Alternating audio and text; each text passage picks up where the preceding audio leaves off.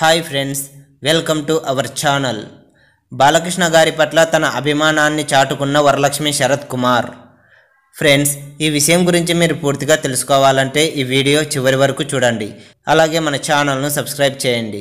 ఇక వివరాల్లోకి వెళ్తే మైత్రి మూవీ మేకర్స్ నిర్మాణంలో గోపీచంద్ మలినేని దర్శకత్వంలో బాలయ్య తన నూట ఏడవ సినిమాను చేయబోతున్నాడు.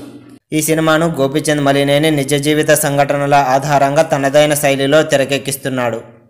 ఈ సినిమాలో బాలయ్య సరసన హీరోయిన్గా త్రిష పేరు గట్టిగా వినిపిస్తోంది.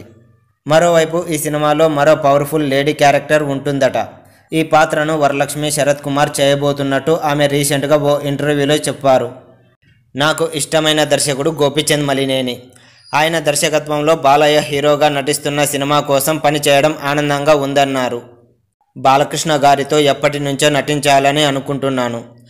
బాలకృష్ణ గారు అన్న అతని యాక్టింగ్ అన్నా అతను చెప్పే డైలాగులన్నా చాలా ఇష్టం. క్రాక్ సినిమాను మొదటగా బాలకృష్ణ గారు చేయాల్సి ఉంది. ఆ విషయం తెలిసినప్పుడు నేను చాలా సంతోషపడ్డాను.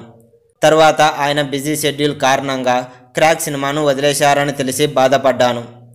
మళ్ళీ గోపీచంద్ గారి వల్ల బాలకృష్ణ గారితో నటించే అవకాశం వచ్చింది అని ఆమె ఇంటర్వ్యూలో తెలిపారు. అఖండ షూటింగ్ పూర్తి కాగానే బాలకృష్ణ గారు గోపీచంద్ మలినేని సినిమాను ప్రారంభించబోతున్నారు.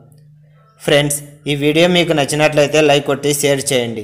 అలాగే మన ఛానల్ను సబ్స్క్రైబ్ చేయండి. Bye friends.